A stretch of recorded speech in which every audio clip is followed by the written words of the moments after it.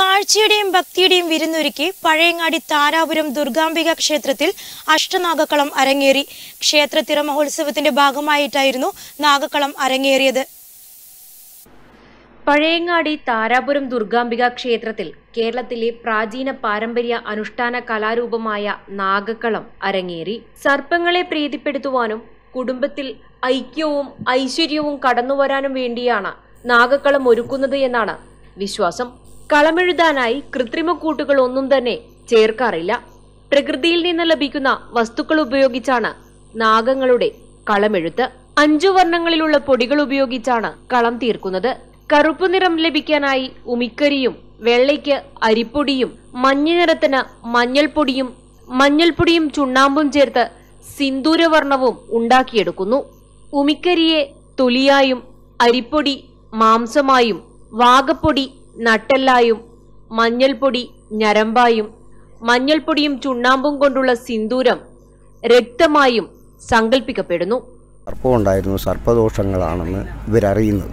പിന്നീട് അങ്ങനെ ഒരു വിളക്കും വെച്ച് അവർ കഴിവുള്ള പ്രാർത്ഥനകളും ചെയ്ത് അങ്ങനെ പോരുമ്പോൾ ആ കുടുംബങ്ങൾ വീണ്ടും ഐശ്വര്യാഭിവൃദ്ധിയിലേക്ക് ഉയരും.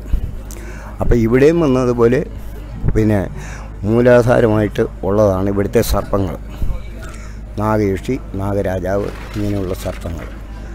അപ്പോൾ അവർ നമ്മൾ പ്രാർത്ഥിച്ച് നമ്മളുടെ ഒരു ആവശ്യങ്ങൾ പറഞ്ഞ് പ്രാർത്ഥിച്ചാൽ അത് നടപ്പാവും ഇവിടെ വന്ന് ഒരു കളം വഴിപാട് നടത്താം.